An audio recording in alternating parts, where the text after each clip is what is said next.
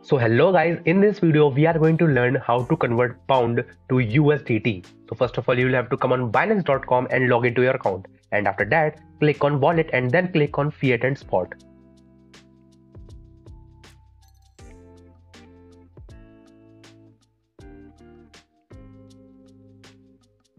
So after coming on this window guys, you will look for the search option and now type GBP and the options convert option you will gonna select.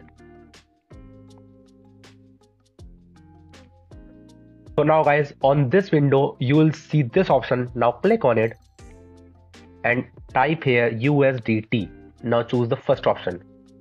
And after that you will just have to put the amount you want to convert. Let's say you want to convert 2 pound into USDT so then you will type 2 here and then choose the preview conversion option